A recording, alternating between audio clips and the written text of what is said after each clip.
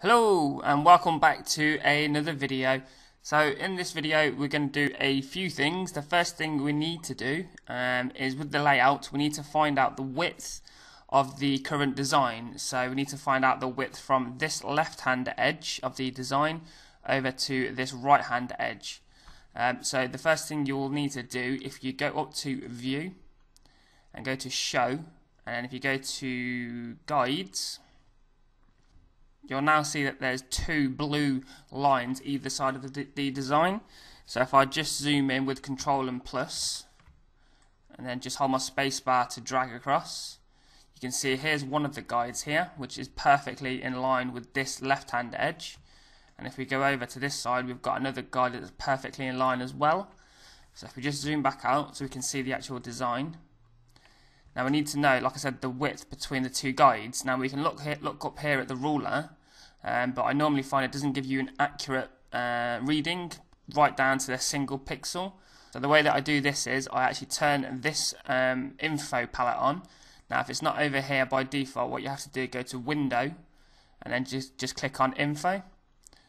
So if you just go to the rectangular marquee tool at the top, and if you just click right next to the blue line, the marquee tool will snap to the left hand side and just drag across until it snaps to the right hand side and let go. Now if we click on the information, you can now see if I zoom in, it says the width is 950 pixels. So now we know the, the width, that's fine. So if we just click on the eye symbol to take that off, and then if we press the V key to go back to the move tool, and then if we do Control D, that will deselect the selection. Now the next thing we need to know, we need to know what colour the background is. Now it looks like it's black, um, but it could be a slightly different colour. So if we zoom in towards the bottom, like so, and if we select the eyedropper tool here on the left hand side, and if we just click on the area, the black area, like so, and if we go to the top palette here, and then we get the hex value down here, all the different colours we can choose from, and it's actually selected the colour right here, so it's not exactly black, it's slightly off, It's, so it's 1, 9, 1, 9, 1, 9. So now we have these two properties. The next thing we need to do is go over to Dreamweaver and start to set up the website. Now that we're over in Dreamweaver, we need to create a few folders and a few files. So the first thing we're going to do, the index.php that we created previously uh, to test to make sure PHP was working, we're just going to delete that because we don't need that anymore. So that's that gone. Um, we're going to create a couple of folders. So we're going to right click on the top folder up here uh, and go to new folder. You probably can't see that because it's gone off the screen, but just select new folder, which is the second option from the top. And then we're going to call this style. So this is where we keep our style sheets. Uh, again, we're going to click on the top option again and click new file. And then we're going to call this index.php and then we're going to right click on the style folder and click new file. And we're going to call this style.css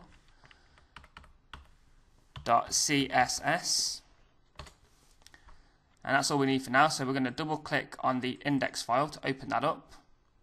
And then we're also going to double click on the style folder to open that up and then you'll see at the very top here we now have two tabs so the first tab is the index page and the second tab is the style page if you want to, you can rearrange the tabs. So if you click on, say, the style tab and drag it to the left, it now moves into the first position, and the index page moves to the second position. Uh, so again, I'm just going to change it back so index is the first one. So the first thing we're going to do in the index page is link to the style.css page. So underneath the meta, just above the title, we're going to type in the following. So link rel and we'll just say style sheet. So basically, like I said, we're linking to the style sheet, and then the href is gonna is basically gonna point to the style sheet. So we just click on browse, and we go into style, and then click on the style page, and as you see here, it's now added it in. So style.css, and then we're just gonna close that off. So that's the style sheet now added. So to save that, just do Control S on the keyboard. Um, so if we now go to the style sheet, so in the style sheet we're going to say body And then inside of the brackets, we're going to say background color is going to be 191919 and then we'll close that off and then just save that again with control S. If we go back to the index page, we're in the source view at the moment. So if we go to design, you can now see that the, the background has completely changed to that color of 191919.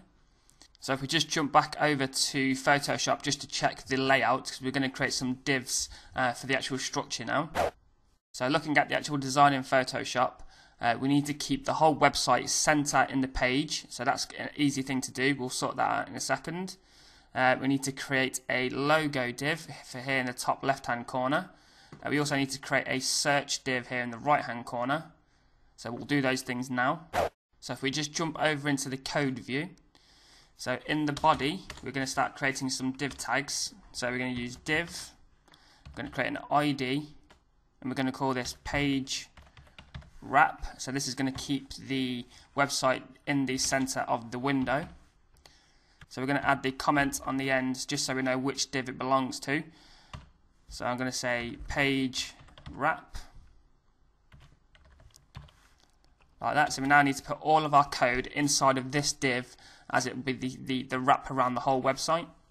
So inside of here then, we need to create a div with an ID and we're going to call this logo. And again we'll just close that off and add our comments on the end.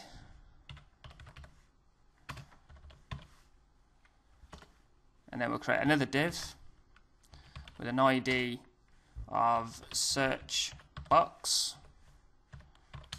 And again we'll create the comment so we know which it belongs to. So search box So if we just sort out our spacing, so all we've done then is we've created a page wrap div that goes around all of the content, and then we've created two other divs for the one for the logo and one for the search box.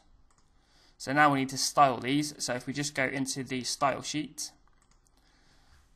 so we're going to use page wrap, and we're going to say the width is going to be 950 pixels because that's the, the pixel width that we found out in Photoshop. We're going to say the height. We're going to say auto. So the height of the page wrap is going to be set to auto, so it expands and contracts with the content inside. Uh, but what we're going to do, we'll add in this property so we can see it taking shape. We're going to say min height to say 500 pixels. The minimum height of that page wrap div is now going to be 500 pixels. So if we just jump back to the index page and then go to the, the design view. So as you can see here, we've got these yellow dots. Now if we click on this one here, as you can see, it comes, starts from the top at the top of the page and comes down to here, which is 500 pixels from the top. And we know that this is the page wrap because you can see here we've got body, and then we've got div with an ID of page wrap. So we know we're, we're targeting that particular div. So if we just jump back to the style sheet, the next property that we need to add is margin. So we want to keep this div directly in the middle of the screen no matter what size resolution of screen people are using. So to achieve this we say 0 auto so that will now keep it perfectly center in the page so just to, just to show you, if I actually change the um, the background color of the div to white. Now if we go to the index page, you can now see we've got this white div here and we've got the black background here. If I now preview this in a browser, so as you can see now in the browser window, the white page wrap div is now perfectly center in the middle of the page by using that the property margin zero auto. So if I just minimize this and go back to the style sheet, if I just take off the background because we don't want that. The next thing we need to do, if we look at the source view, is we've got the logo and the search box. So we'll just quickly style those up. So if we just jump over to here, if we type in logo,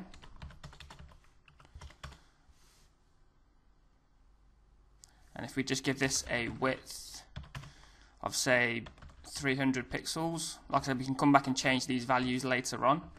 And if we give it a height of say 75 we'll actually measure this out in the next chapter of the um, the series. So if we just preview this in the design view we can now see we have the logo div which is now 300 pixels wide and 75 pixels high. And again if we click on this one to select it you get the solid yellow border. And you look down here and we're targeting the div with an ID of logo. So if we just go back to the code view so we've got this search box that we want to um, style up as well. So if we just jump back to the CSS, so if we just type in search box, and we're going to say width 400 pixels, and again the height we'll just say 75. If we just go back to the index page, and then design. You can now see we have two the, the two divs, but the problem is we need to get the search box here up into the position to the right hand side of the logo div here.